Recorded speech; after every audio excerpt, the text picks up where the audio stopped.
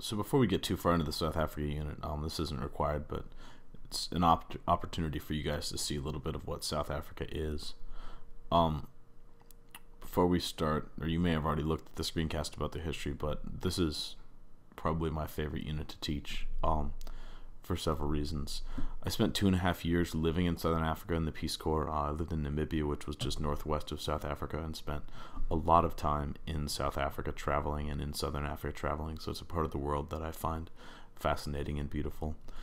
The the history, I believe, is also fascinating. The the racial conflict between the various groups and the, the means of resistance by the, the black majority. I find all of that history fascinating, and it's also a spectacularly beautiful country. I got to travel a lot in South Africa, so I'm going to share some pictures of that right now. The flag is a beautiful flag. Um, all of those colors mean something, and I used to know and don't remember anymore, but you could totally look them up. I support that. The Drakensberg mountain range in kind of the central part of South Africa. Um, you can see in the background there uh, a giant waterfall called Tugela Falls. Um, it's the longest waterfall, or the highest waterfall, even though it's not continuous, I believe, in the world. Um, and yeah, it's gorgeous. I got to hike up near the top of it. It was pretty cool.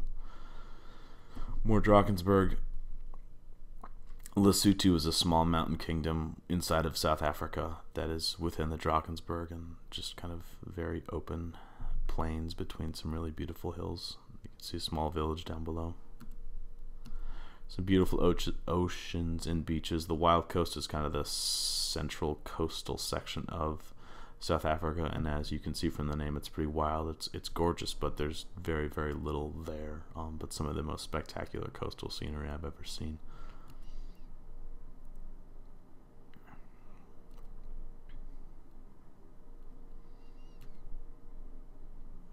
Look at that beach. There's nobody on that beach. We hiked across that whole beach and saw zero people. Look at how gorgeous that is. The garden route is just east of Cape Town. Um, it looks very different, but is also strikingly beautiful. Cape Town itself is on the southwestern corner of South Africa, and that is a view of the city of Cape Town with Table Mountain, kind of that giant flat thing in the background there from Robben Island, the island where the South African political prisoners were kept. And this is a view of Cape Town from that mountain in the background before Table Mountain. Some gorgeous flowers.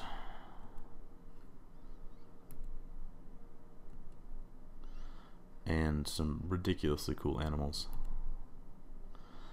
Baby hyenas.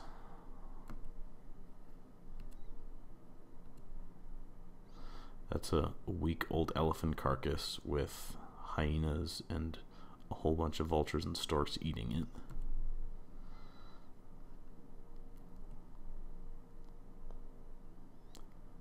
Is a kudu.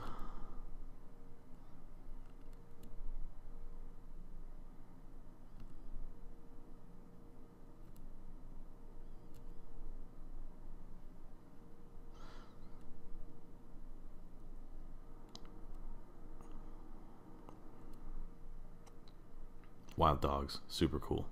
Super rare.